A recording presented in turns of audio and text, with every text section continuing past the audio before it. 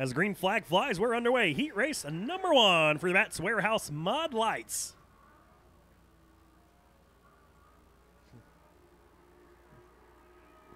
And it will be John Priest, the man out front, showing the way as they work their way through turns three and four. John Priest with a healthy lead off of turn number four.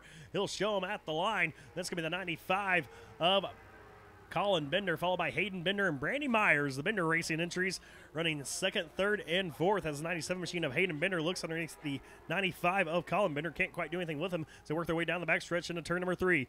See the 97 Hayden Bender going to start his assault once again as 95 of Colin gets a little squirrely off of turn number four. They go side by side. Give that position to the 97 machine of Hayden Bender. Here comes Brandy Myers to the outside now with the 95 of Colin Bender.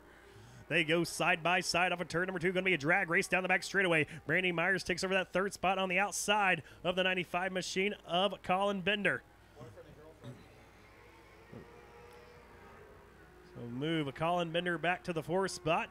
Rounding out your top five in fifth is Scott Elderworth with Jeff Lowe rounding out the field. Out front, no change. Here as we have two laps remaining. John Priest is all by his lonesome out front, leading the field off of turn number two. Followed by the 97 of Hayden Bender, Randy Myers, and Colin Bender. Still duking out for that third spot. Boyfriend, girlfriend there on the racetrack, racing hard for that third position as white flag flies for John Priest. He'll lead the field off of turn number two one final time.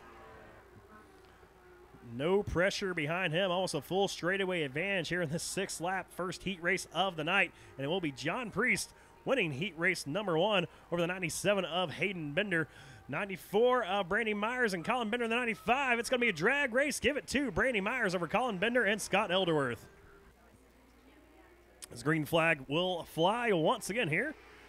After calling the uh, first start back. But it will be Brendan Priest jumping out the early advantage as they go three wide for that second spot. One car around, though. Gary DeWitt in the 77. He'll spin her off of turn number two. Grit the car refire, though. We stay green on the racetrack. So we stay green on track as leaders come off of turn number four. Will be Brendan Priest, followed by Sean Connors in the second spot with Michael Prey, Tony Martin, and a big gaggle of cars going into turn number one. And it's Brendan Priest right now pulling away from the 114 of Connors and the rest of the field as the 88 of Michael Prey and Tony Martin. They do battle right now for that third spot. Martin to the outside of Prey as they work off a turn at number four. Give the third position to Martin.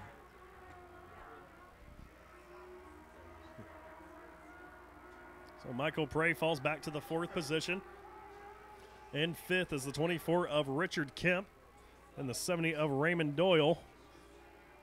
Gary DeWitt rounding out your field after spinning out on lap number two.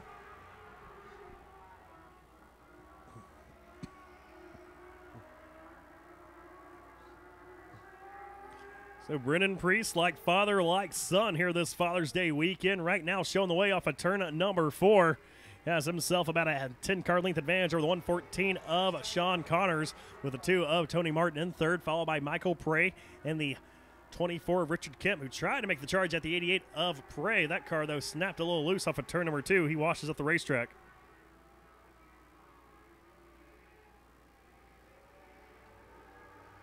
White flag in the air this time for your race leader. These heat races very quick here, being six laps for these ModLites as they zing around Arizona Speedway on this beautiful June night. So the checkered flag will fly. Brendan Priest, he'll take home heat race number two, followed by Sean Connors, Tony Martin, Michael Prey, and Richard Kemp.